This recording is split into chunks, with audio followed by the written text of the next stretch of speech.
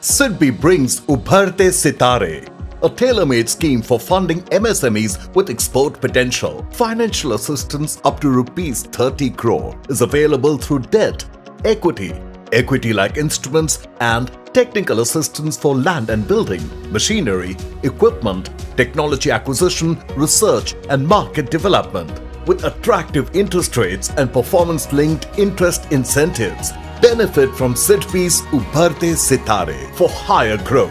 Sidbi, backing MSMEs, building futures.